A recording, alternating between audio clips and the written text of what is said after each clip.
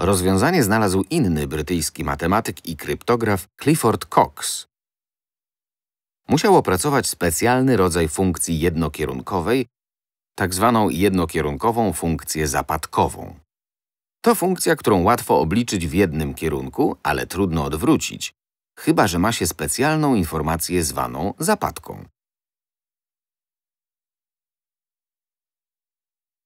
W tym celu skorzystał z potęgowania modularnego, które wprowadziliśmy przy omawianiu protokołu Diffiego-Hellmana.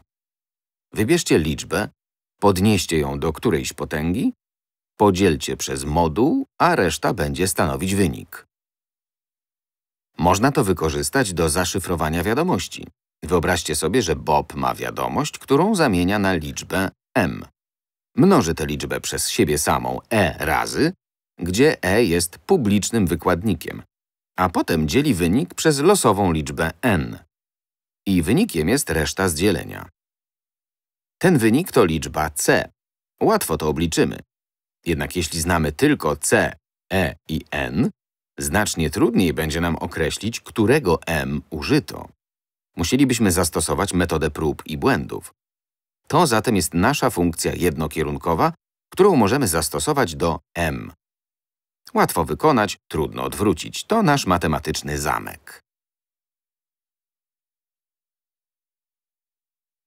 A co z kluczem? Jest zapadką, informacją, która ułatwia deszyfrowanie. Musimy podnieść c do innej potęgi, powiedzmy d, która odwróci pierwszą operację zastosowaną do m i przywróci oryginalną wiadomość m. Obie operacje zatem sprowadzają się do tego samego, co m do potęgi e i wszystko razem do potęgi d. A to przecież to samo, co m do potęgi e razy d. Liczba e odpowiada szyfrowaniu, zaś d – deszyfrowaniu. Alicja potrzebuje sposobu, żeby zbudować e oraz d, trudne do wyznaczenia dla wszystkich innych osób. Wymaga to drugiej funkcji jednokierunkowej używanej do wygenerowania d. Cox zwrócił się ku Euklidesowi.